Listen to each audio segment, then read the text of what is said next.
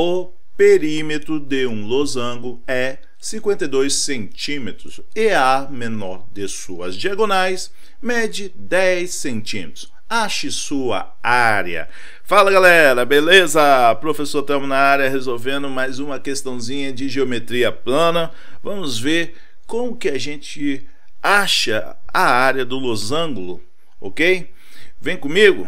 Vamos nessa galera.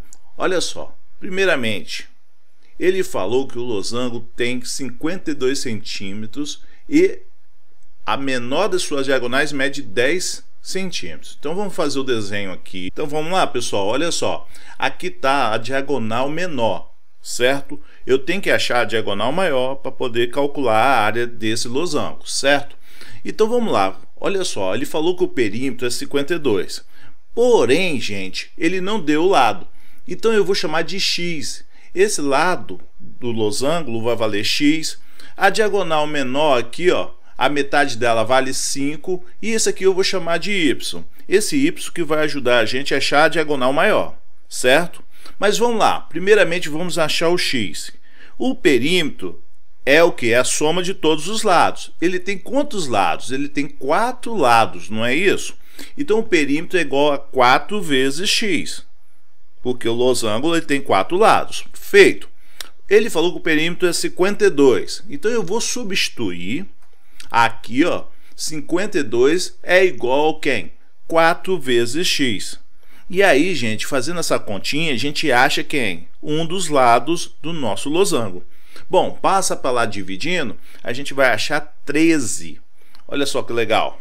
13, então, é o lado desse losango.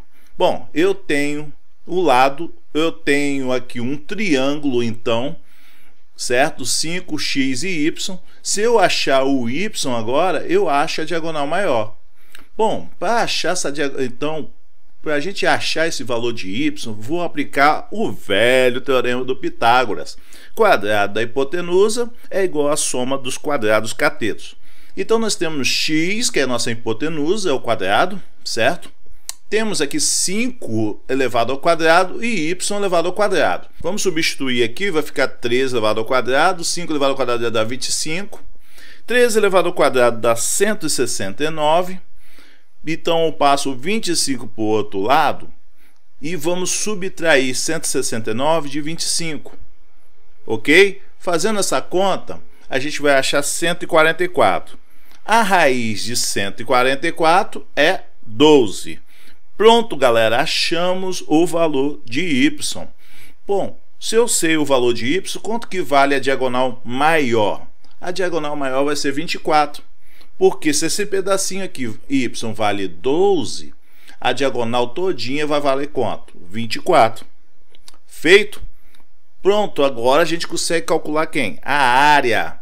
O que, que eu vou fazer? Eu vou multiplicar a diagonal maior pela diagonal menor e vou dividir por 2 ok?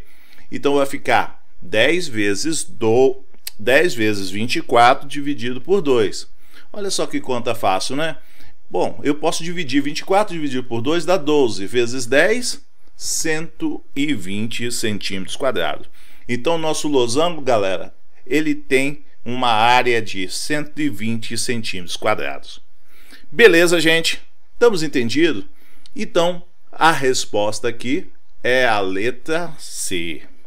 Beleza? Você gostou mesmo dessa resolução? Sim ou não? Diz aí se você entendeu, faça aquele comentário, compartilhe esse vídeo, camarada, dê um like, se for novo, inscreva-se para ver mais vídeos como esse. Vou ficando por aqui. Aquele abraço de coração e até a próxima!